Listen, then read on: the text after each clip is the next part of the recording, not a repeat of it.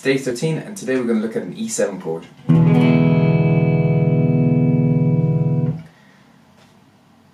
Now, you probably heard there, it sounds a little bit more bluesier if you compare it to a regular E chord. So, um, it's very, very simple uh, um, to play this voicing uh, in this position, as all you're doing is taking away a finger from the E chord that we we've already learned. So if we have a look at our E chord, we take our E chord shape, uh, we have our second finger or middle finger on the second fret of the A string, our ring finger or third finger on the second fret of the D string, and our index finger on the first fret of the G string. And it sounds like this. This is a regular E chord. Just to recap there. So we're going to take away our ring finger and play the open D string. That will give us, um, the D string will act as a minor 7 um, tone here. Uh, if you want me to do a, um, a, lesson on chord construction and chord spellings, uh, just drop me a comment here in the um, um, comments panel on YouTube uh, or, or Facebook or wherever you're watching this and um, yeah, we'll, we'll, see if there, if there's enough people that want it. I'll, I'll, do a lesson on on chord theory and stuff like that. And um, don't forget to subscribe and uh, send this around to your friends that, uh, or family members that maybe are interested in learning guitar or maybe need a few new chord voicings because, uh, like I said before, as uh, we evolve. Um, progress with this, the chords are going to get a lot, a lot more advanced. So anyway, back to our E7 chord.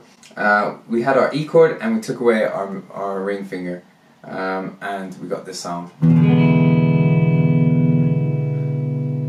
So I'm basically going to move between E and E7.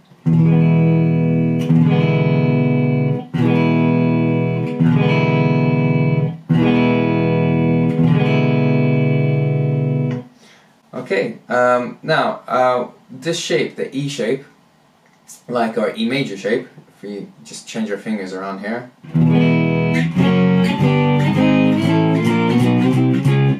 That's the E major chord, we can move it along using a bar uh, to play other chords. So for example, I'll play a little chromatic thing and move up the neck there. Now we can do the same thing here. We change our fingers around to play the E chord.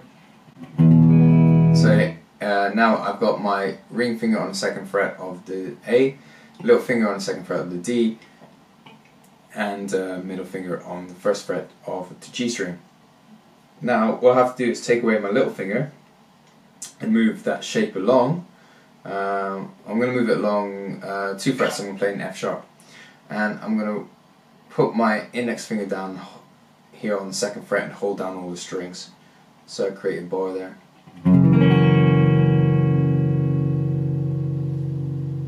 And there I have my, my E shape um, uh, seventh chord.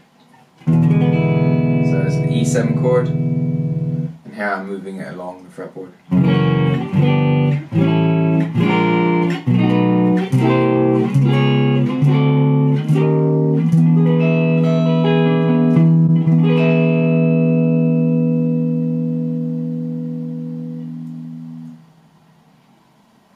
Okay, I'll see you tomorrow for the next chord.